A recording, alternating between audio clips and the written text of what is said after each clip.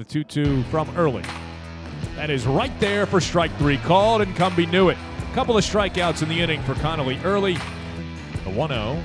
Teel swings, grounds it over towards first and past the first baseman as that was misplayed by Sing Sank. Around third, heading in to score is Ethan O'Donnell. That'll tie up the ball game. Over to third base goes Gelof. Cy Young Award winner. Didawick swings, skies one the opposite way, chasing back the left fielder Fields back onto the warning track at the wall, and he runs out of room. Two run opposite field home run for Harrison Didawick. Hits it over his counterpart's head, and he has given Virginia its first lead of the afternoon. Number three on the season for Harrison Didawick.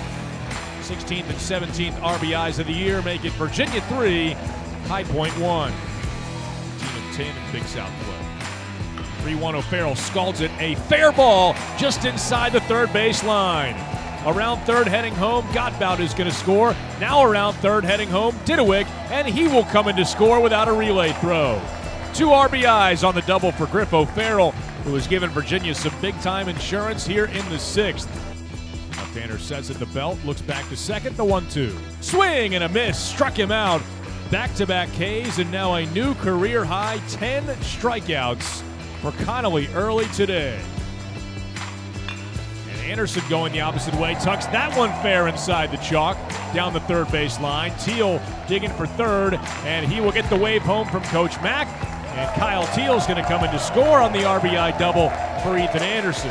Point after two seasons at the JUCO level. Stephan swings, lines one, center field. That's going to get down for a base hit in front of the center fielder, A Hall. Stephan does it again. He's got an RBI single. His fifth run batted in this year. Drives home Ethan Anderson from third base. Make it Virginia 7, high point one, point one in the seventh. And Harrison Didawick swings, lifts one down the right field line. That is a fair ball. And on one hop is off of the padded wall in the corner. Home from second, Colin Tuft. Heading for third, Didawick. He will dive in head first with an RBI triple. Second triple of the year for Harrison Didawick. Tacks on another one for the Hoos, who now lead it 8 to 1.